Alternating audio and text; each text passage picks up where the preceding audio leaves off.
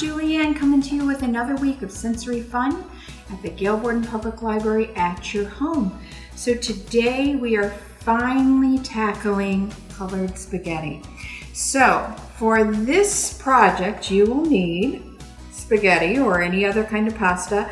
Um, I think it's more fun to use the thin spaghetti or linguine, uh, just the long shapes tend to be more fun. The kids have more fun once it's finished. They can cut it, they can kind of play with it like little snakes or worms. So you're gonna need some kind of pasta, uh, measuring spoon, food colors. The gel food color works the best.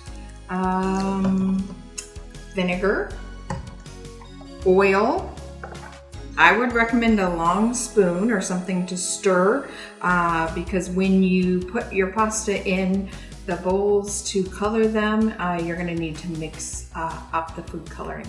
And then you're gonna need some different containers.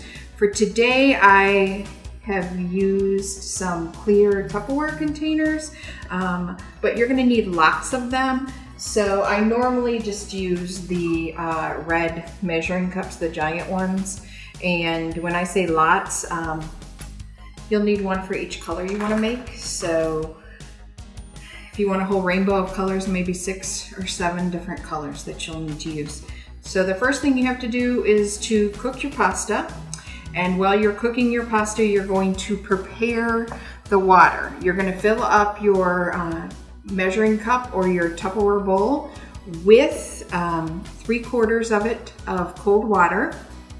And then you're gonna put in a couple of teaspoons of your vinegar.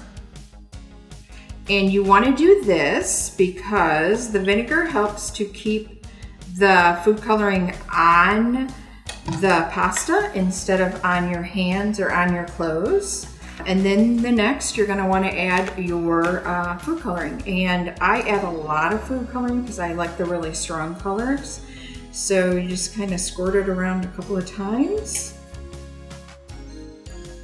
And then you'll use your spoon to mix up your colors. So ideally you would be putting your pasta into the food coloring um, like immediately after you drain it from the water. Uh, but this uh, project took a lot of prep, so I actually cooked this pasta a couple of hours ago because I had to, I did all of the colors. So um, the colors take time. The pasta takes time to soak up the colors. So this project is gonna take you a little bit longer to do. I probably started um, cooking the pasta at about eight this morning and it's now 10.20, so it does take a while. So I'm gonna take some of my pasta and you would probably not wanna be grabbing it with your hands if you're doing it right after you cooked it because it would be hot. So then you're gonna just dump it in your water and maybe mix it up. You'll see, even though uh, we just put it in, it's taking a little bit of the color, uh, but you're probably gonna want it to be a stronger color than that. So you're gonna leave your uh, pasta in the water for a couple of hours at least. Now I made some already and this has been sitting in the water probably close to two hours. So you can see that it's got a lot more color than the pasta that we just put in. So let's do a side by side.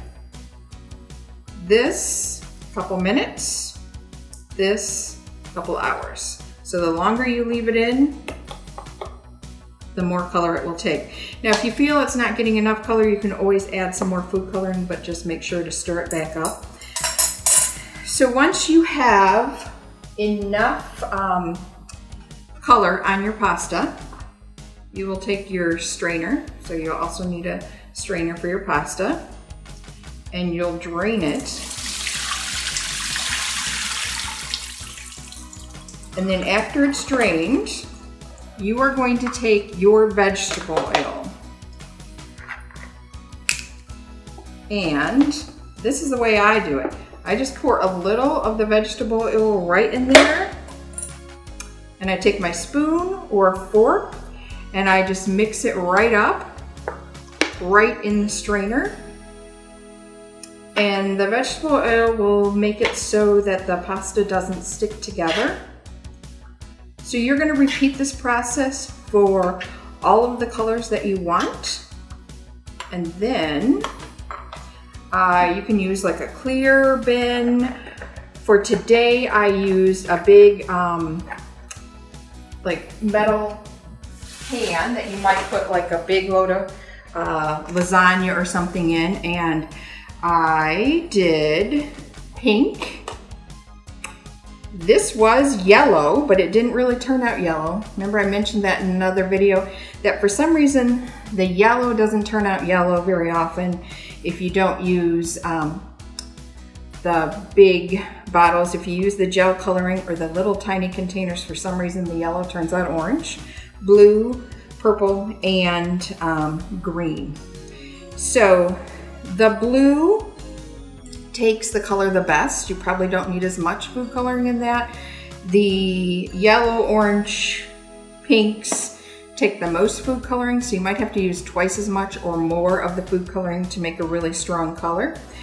And then what is really fun for the kids to do, if you have any little kid scissors at home, you like to cut, you can cut the noodles.